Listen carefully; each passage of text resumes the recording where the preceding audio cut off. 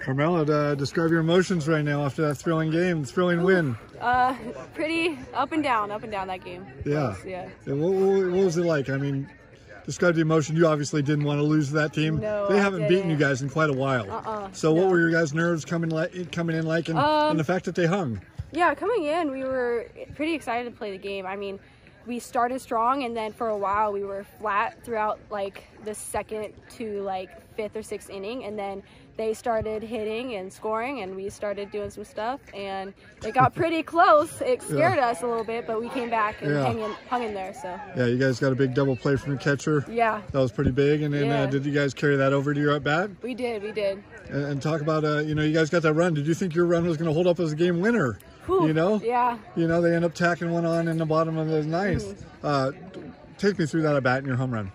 Um, you know, I was struggling the whole t- whole game, so I mean, my coach said keep my front shoulder in, and I did, and I'm glad I just made good contact Yeah, it was- and was helped the team. So that's all I want to do.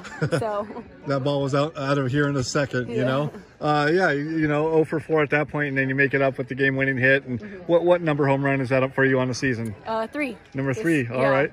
And and you know when you get a game, you guys were expected to win this game, I imagine. Mm-hmm. So what does it feel like when you guys finally pull it out? You know, Um, felt really good. Not gonna lie, it felt really good.